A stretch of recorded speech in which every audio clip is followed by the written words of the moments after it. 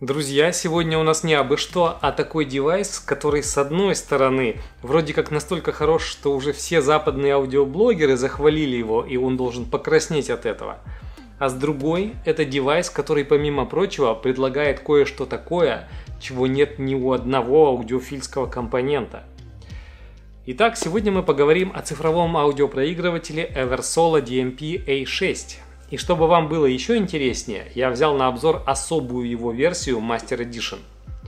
Ну что, давайте разберемся, что же у этого Eversolo такого, что его все любят.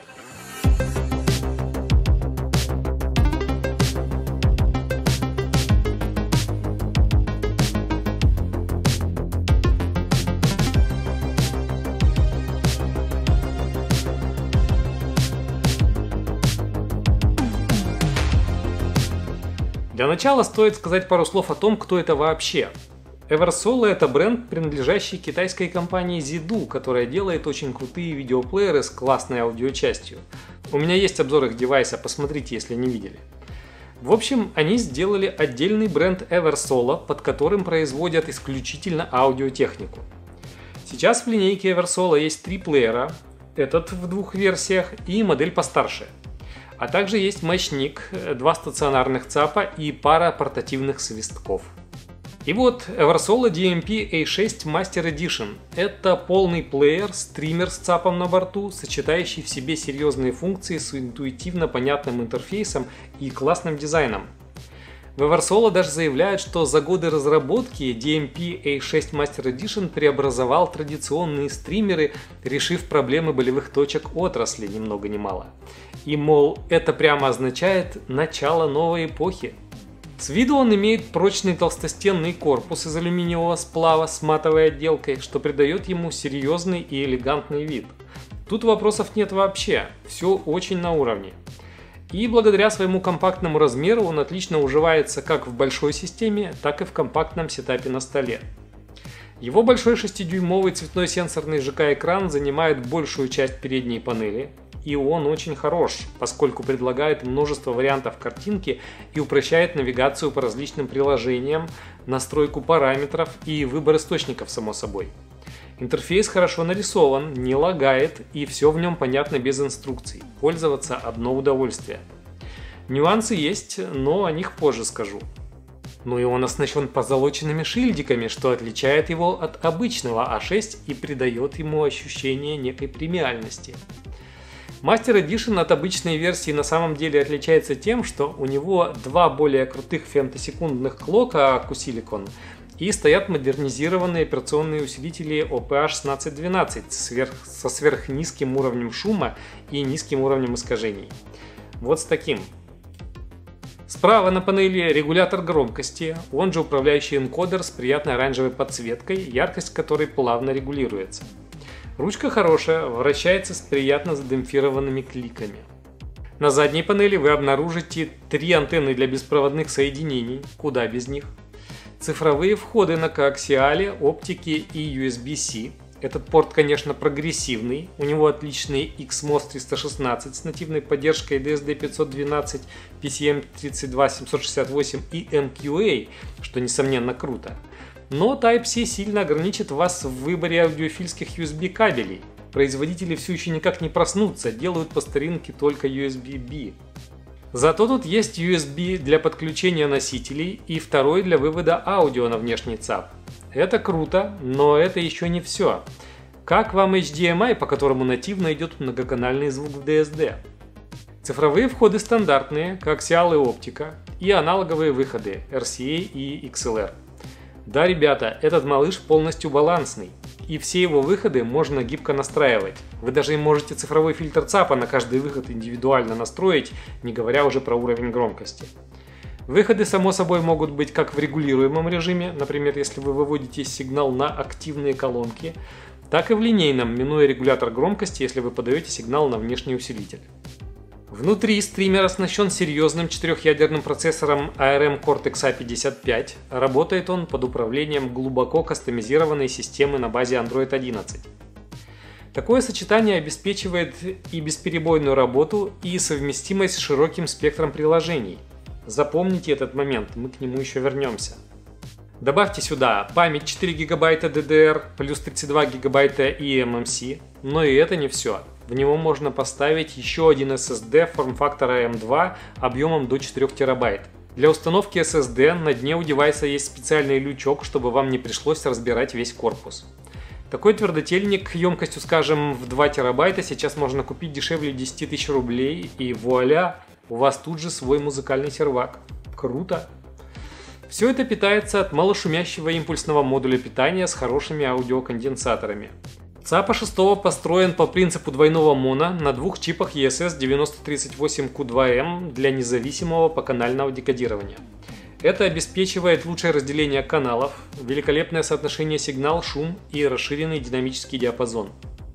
Ему помогают два высокоточных кварцевых генератора для частот кратных 44,1 кГц и 48 кГц, что эффективно снижает джиттер и повышает точность декодирования звука. Он поддерживает потоковую передачу и воспроизведение аудио высокого разрешения до 32-768 кГц в PCM и DSD до DSD512, а также умеет разворачивать наши любимые файлы MQA. Аналоговая схема имеет полностью балансную конструкцию, от чипов ЦАПа до аналоговых выходов. Она обеспечивает лучшую помехоустойчивость, улучшает разделение каналов за счет исключения общих петель и делает сигнал более стабильным. Все это построено на превосходных компонентах, отобранных вручную, включая немецкие конденсаторы Vima, аудиоконденсатор Nichicon, Murata, японский реле Amron и американские операционные усилители Texas Instruments. Сразу видно, старались сделать максимально чистый аудиотракт, и это им точно удалось. А6 Master Edition – это универсальный проигрыватель, который поддерживает все нужные потоковые сервисы, локальное управление музыкой и даже воспроизведение компакт-дисков с подключенного внешнего сидюка. Ну и он run ready, само собой. Думаю, про UPnP, DLNA, AirPlay 2 и Spotify Connect говорить не надо, но скажу. Использование DMPA6 максимально интуитивно понятно, Элементы управления точны и хорошо продуманы. В этом интерфейсе нет чрезмерного усложнения. Он удобен и для новичка, не путает тебя, но достаточно продвинут для опытного пользователя. Интерфейс отзывчивый, благодаря чему вы потратите меньше времени на настройку и больше времени проведете с музыкой.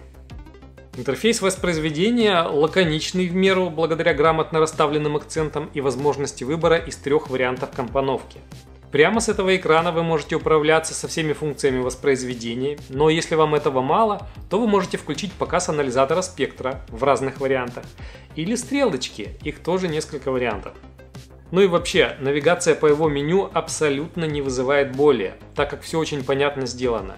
И это усугубляется просто великим, не побоюсь этого слова, мобильным приложением, в котором есть функция, сейчас приготовьтесь, трансляции его экрана прямо на телефон – то есть вы прямо с телефона можете управлять, как будто касаетесь его экрана. Почему до этого раньше никто не додумался? И это помимо того, что вы просто в приложении можете управлять через интерфейс самого приложения. Но если вы привыкли к его экрану больше, то, пожалуйста, управляйте через трансляцию экрана. И возвращаемся к важному функциональному моменту, делающему этот девайс уникальным – так как вы можете поставить сюда разные приложения, то Eversolo де-факто становится чуть ли не единственным на сегодня стационарным аудиоустройством, которое может работать с Apple Music. И не просто работать, а бит-перфектно работать. Еще раз, ребята, это стационарный плеер с поддержкой Apple Music. Этого нет ни у одного стационарного аудиофильского девайса высокого уровня, насколько я знаю. Если вы сидите на хайрезах и лослесах из Apple Music, то Eversolo это идеальная вещь. Ну почти. В отличие от его нативного интерфейса воспроизведения, интерфейс Apple Music несколько иной, и он здесь мелковат. Сами посмотрите, как выглядит экран воспроизведения. Это несколько менее удобно, чем то, что у Eversolo есть в базе, тот интерфейс по умолчанию. Да? Вот дожили, интерфейс Apple хуже китайского. Но, тем не менее, вы зато реально можете слушать музыку из Apple Music не по AirPlay, а нормально по проводам на своей большой системе. Ну или в системе с наушниками.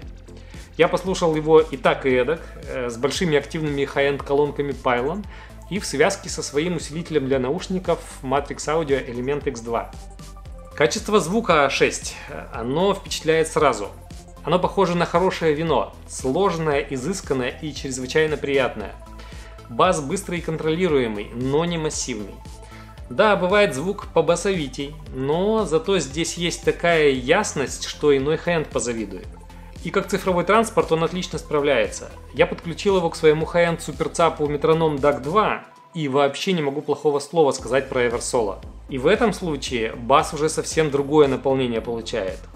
Середина в подаче А6 чистейшая и ясная, а верха сверкают как бриллианты, но не ярчат и не шипят. Eversolo создает чистейший, детальный и очень прозрачный ясный звук с аккуратными, не перегруженными низами. Деликатные очень низы, я бы так сказал. И этот характер делает A6 очень классным девайсом для тех, кто любит интересную электронику, такую как в плейлисте Apple Music Electro Breaks. Это почти 15 часов резкого синкопированного ретро-футуристического саунда, известного как электробрейк или электрофанк. Положил его в описании к ролику в версиях для разных стриминговых платформ, чтобы вы смогли оценить у себя. Это просто мега крутой электронный плейлист. Здесь он звучит просто потрясающе. Настоящий хай звук в связке с моими новыми Кеннертон Рогнер. Это все настолько невероятно звучит, что когда я наткнулся на него, а дело было в первом часу ночи, то я даже перенес свои планы на сон, потому что остановиться уже не мог. Просто реактивный саунд, великолепная динамика, потрясающее разделение инструментов, а трек Lizard Eyes просто вынес меня своей драм-машиной, с ума сойти. А если любите что-то тяжелое и техничное, например, последний альбом шведских металлистов In Flames, то тоже не разочаруйтесь. Эверсола все это гитарное мракобесие раскладывает просто великолепно. Ни малейшего намека на муть или вязкость в звуке. Как э, в Odyssey LCD2, так и на большущих активных колонках Pylon, подключенных по балансу. Их ревелаторы молотят так, что гвозди можно забивать таким звуком. Да, не так ровно, как дорогой Aurendra 15, чуть прохладнее и по суше, не настолько богато и утонченно, но все равно очень серьезно все в пространстве строится, детализация просто бешеная, что уже довольно сильно меня впечатлило. Ну а если вы любитель джаза, то вообще можете крепко подружиться с Эверсоло после прослушивания плейлиста «Новые горизонты», в котором электрофутуризм, инди-экспериментализм и джазовый авантюризм со всего мира образуют обширный звуковой ландшафт. Абсолютно каждый трек здесь чем-то удивляет и впечатляет, потому что Эверсоло показывает вам все с такими подробностями, вместе с которыми вы получаете исключительные микродетали и послезвучие. Быстрый трек «Хо-хо-хо» от Корта Альта звучит энергично и многослойно, с множеством мелких нюансов, всплывающих на тебя с разных сторон. Теплая, уютная фортепиано прямо материализуется перед тобой, ты чувствуешь каждую клавишу. А трек от Кифер, напротив, звучит мягко и вязко, словно обволакивая тебя. Все это очень красиво здесь звучит. А6 умеет подать музыку и по-аудиофильски подробно, и по-меломански захватывающе – его хочется слушать, э, думаю, поэтому его все и любят. Что у него в недостатках? Ну, по железу, вот физического пульта у него нет. Поэтому, если вы на диване, то только с телефона им управлять можно. Благо в приложении есть абсолютно все и даже больше. Правда, родной пульт существует, его можно будет докупить отдельно, и в Россию они уже едут, или может быть даже уже приехали на момент выхода ролика. Еще у него нет даже базового усилителя для наушников, поэтому Eversolo не может стать единственным компонентом. Ему потребуется как минимум внешний усилитель для наушников. Притом очень качественный желательно, потому что по звуку этот девайс очень многое может дать. Да, басхеду тут возможно не хватит баса, э, но вообще это все сильно будет зависеть от того, с чем вы будете стыковать Eversolo. На больших колонках Pylon недостатков в басах вообще нет. В общем, Eversolo, на мой взгляд, хвалят не зря. Это действительно классный многофункциональный аппарат. А для тех, кто сидит на Apple Music, так просто незаменимый, находка. Просто обязательно к прослушиванию. Кстати, спасибо ребятам из магазина patefon.ru, которые дали мне этот классный девайс на обзор. У них вы сможете его послушать и купить по хорошей цене. Оставил ссылку на них в описании. Ну а на сегодня у меня все. Увидимся в следующем видео.